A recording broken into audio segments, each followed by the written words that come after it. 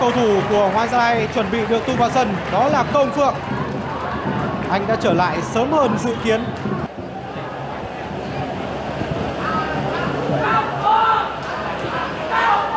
Hai sự thay đổi trên hàng công của câu lạc bộ Hoàng Gia Lai.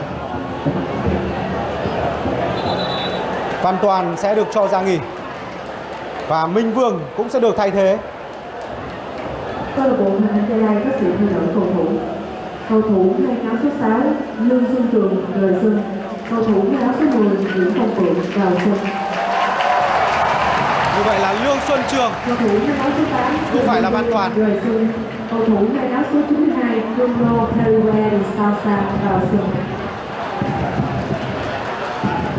Bruno vào sân thay thế cho Minh Vương. Còn Công Phượng vào sân để thay thế cho Lương Xuân Trường.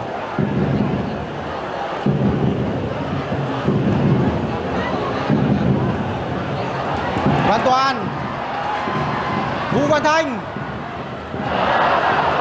Văn Thành cần giữ bóng lại trước khi tung ra đường truyền Vừa rồi thì anh đã trượt chân. Đó là Lê Văn Sơn và cắt bóng chính xác của Lê Văn Sơn. Công Phượng Enrique Nguy hiểm À!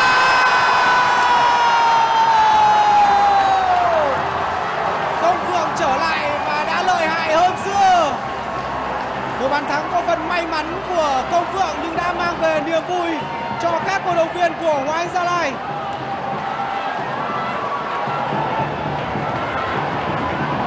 Và phối hợp giữa Công Phượng và tân binh Luis Henrique. Hai cầu thủ được huấn luyện viên Kieti Sắc tung vào sân trong hiệp 2 đã phát huy tác dụng.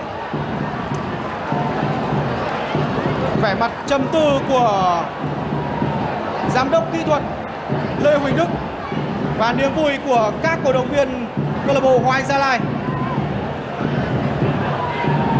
Những tâm trạng trái chiều trên sân vận động thống nhất